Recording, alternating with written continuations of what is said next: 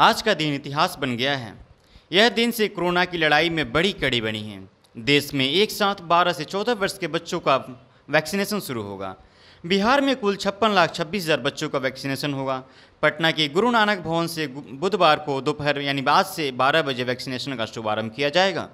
बच्चों के लिए खास बात यह होगी कि स्कूलों के साथ जहाँ भी स्टेशन साइट होगी, वहाँ ऑन स्पॉट स्टेशन की सुविधा दी जाएगी। बिहार में 12 से 13 साल के बच्चों में बालकों की संख्या 14 लाख अट्ठाईस हज़ार है, जबकि बालिकाओं की संख्या 13 लाख नवासी हज़ार है। वहीं 13 से 14 वर्ष के वर्ग में बालकों की संख्या 14 लाख छब्बीस हज़ार है, जबकि बालिकाओं की संख्या 13 लाख तिरासी हज़ार है। राज्य में स्वास्थ्य विभाग को कुल 12 से 14 वर्ष के छप्पन लाख छब्बीस हज़ार बच्चों को वैक्सीनेशन का टारगेट है। 15 से 18 साल में चार दशमलव नौ तीन लाख बच्चे पटना में हैं, जबकि 12 से 14 में दो दशमलव नौ पाँच लाख बच्चे हैं। बच्चों को वैक्सीनेशन को लेकर अधिकारियों का कहना है कि 15 से 18 की तरह ही 12 वर्ष वालों का भी टीकाकरण होगा।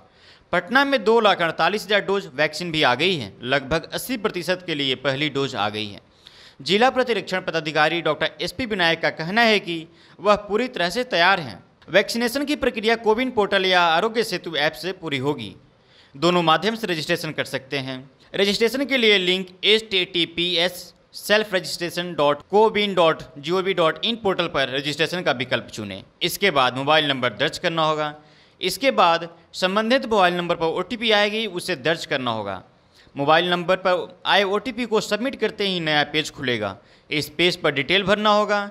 इसमें कोई एक विकल्प चुन आईडी नंबर डालना होगा। फिर नाम जेंडर और जन्म तिथि भरना होगा। इसी दौरान वैक्सीनेशन सेंटर चुनने का भी विकल्प आएगा। पहचान पत्र में आधार कार्ड या मान्य फ़ोटो, युक्त परिचय पत्र को वैध किया गया है। पोर्टल पर सेंटर चुनने के बाद सुविधानुसार स्लॉट का चुनाव किया जा सकता है।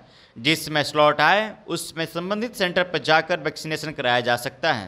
हालाँकि छूट ऑन स्पॉट रजिस्ट्रेशन की भी है। बस अपनी फ़ोटो पहचान पत्र बच्चों को ले जाना होगा। 12 से 14 वर्ष के बच्चों को भी बड़ों की तरह निडल वाली इंजेक्शन शून्य दशमलव पाँच एम वैक्सीन लगाई जाएगी। कॉर्बवैक्स नई वैक्सीन है। इमरजेंसी में भारत सरकार ने इस नई वैक्सीन को 12 से 14 वर्ष के बच्चों के लिए मंजूरी दी है। बायोलॉजिकल ई लिमिटेड हैदराबाद में तैयार हुई वैक्सीन को लेकर गाइडलाइन आई है। इसके मुताबिक बड़ों की तरह कॉर्बवैक्स की डोज भी 28 दिनों के अंतराल पर लगाई जाएगी। स्वास्थ्य विभाग के अधिकारियों को प्रशिक्षण में बताया गया है कि कोवैक्सीन और कोविशील्ड की तरह कॉर्बवैक्स भी निडल वाले इंजेक्शन से बच्चों के दाहिने हाथ के बाजू में शून्य दशमलव पाँच एम दी जाएगी। पटना के जिला प्रतिरक्षण पदाधिकारी डॉक्टर एस पी विनायक का कहना है कि वैक्सीन पूरी तरह से टेस्टेड है और बच्चों के लिए कोरोना की लड़ाई में बड़ा हथियार बनेगी। यह कोरोना की भले ही नई वैक्सीन है, लेकिन इसे बड़ी वैक्सीन कंपनी ने बनाया है। कोवैक्सीन और कोविशील्ड की तरह सब वैक्सीन है जिससे निडिल से ही दी जाएगी।